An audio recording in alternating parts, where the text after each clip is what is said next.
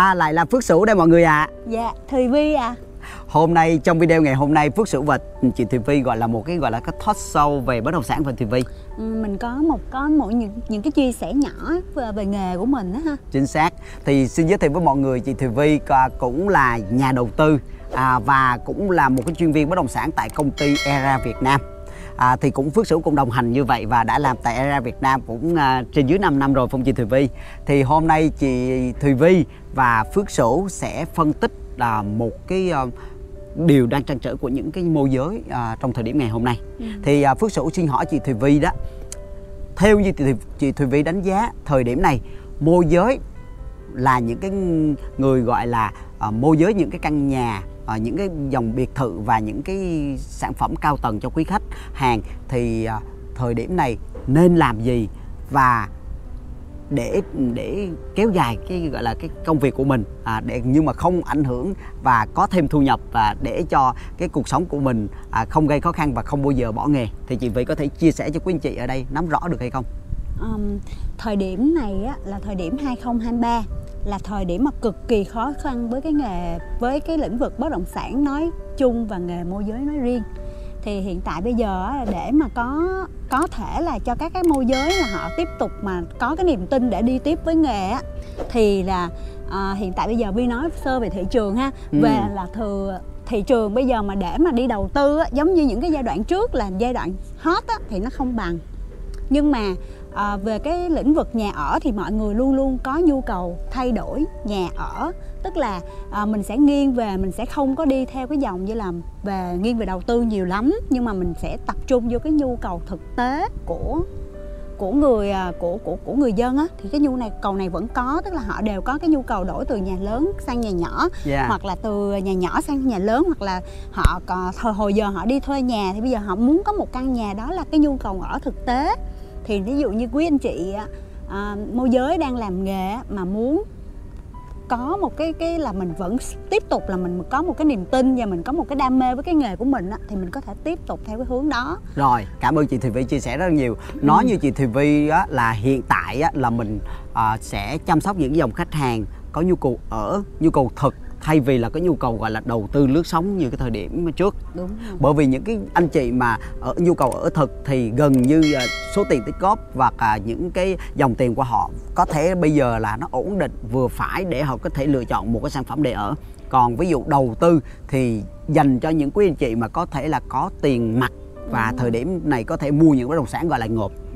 thì à, một cái điều trăn trở mà tất cả các à, anh chị môi giới nè à, những cái người đang gọi là đang không biết là mình đứng ở đường nào và à, băn băn khoăn thì nghề môi giới à, cũng có khá nhiều các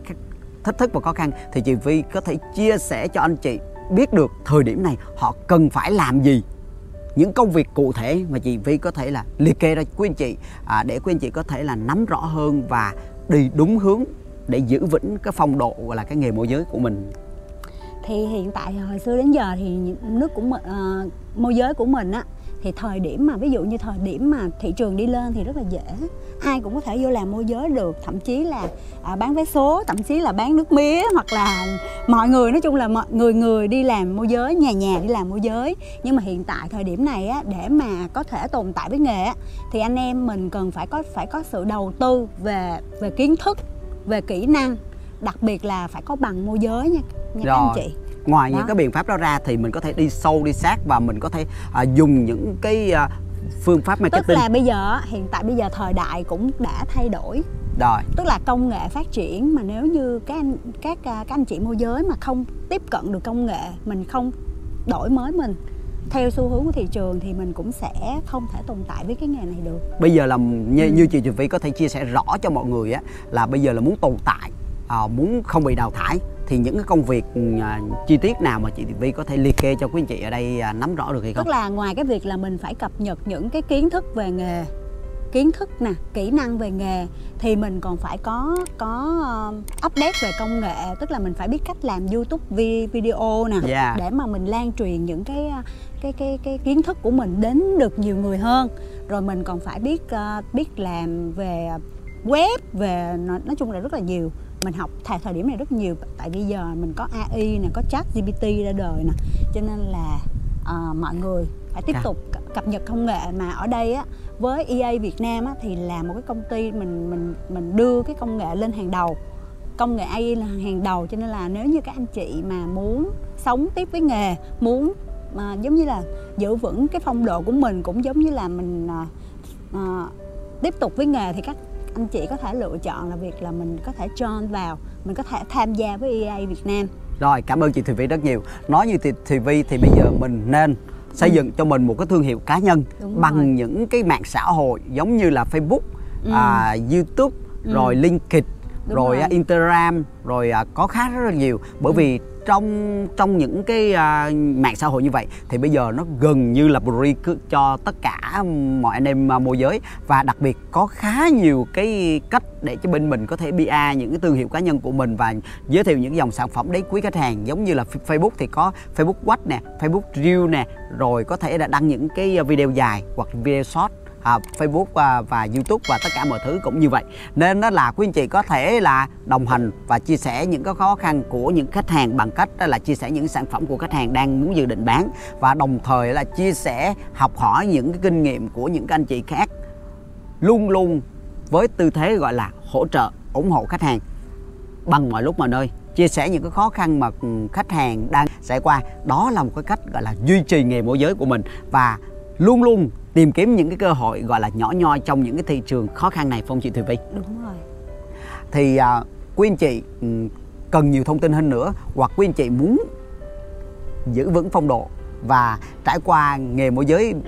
rất là nhiều rồi nhưng mà vẫn tiếp tục thì quý anh chị à, hãy nhớ tìm đến Phước Sửu và chị Thùy Vi à, để có thể join vào một cái cộng đồng công ty bất động sản Era Việt Nam để à, tụi mình sẽ dìu dắt quý anh chị và có thể cùng à, team làm việc say mê hơn và tạo ra một cái team hoạt động mọi lúc mọi nơi à, đưa đến những cái giá trị cực kỳ hấp dẫn và ừ, tạo giá trị ra cho chính bản thân mình và khách hàng. Rồi à, cảm ơn chị à, Thùy Vi đã có một cái chia sẻ khá hay và một cái chủ đề gọi là hóc búa trong thời gian này. À, nhưng mà cũng có một cái à, à chia sẻ à, cũng gọi là thú vị phải không chị Thùy Vi? Thì chị Thùy Vi có thể là à, nhắc nhở và có thể đưa ra một cái à, lời khuyên cho quý anh chị à, khách hàng khi mà mình kết thúc video hay không lời khuyên À, lời khuyên của chị à, dành cho quý anh chị thời điểm này là nên là tiếp tục công việc hay là bỏ nghề? à thật ra là với ờ, với cái cái nghề khi mà mình đã đã sống với cái cái nghề môi giới á và mình thành công á thì là trong cái giai đoạn khó khăn á cũng là một cái giai đoạn nó nói chung á nó cũng là cơ hội cho những cái người mà tiếp tục ở lại với nghề. Do đó là nếu như là em thì là nếu như là Vi thì Vi sẽ khuyên anh chị là vẫn phải à, tiếp tục đi và tiếp tục ừ, giữ vững cái cái nghề của mình giữ vững cái niềm đam mê của mình. Rồi, cảm ơn chị Thùy Vi rất nhiều. À, xin chào và hẹn gặp lại quý anh chị ở nhiều đây sau. Và đừng quên à, quý anh chị à, like nè, share và subscribe kênh của Phước Sửu và chị Thùy Vi để cho Phước Sửu và chị Thùy Vi có nhiều động lực hơn cho ra nhiều cái video có giá trị hơn. Xin chào và hẹn gặp lại cả nhà ở nhiều video sau nha.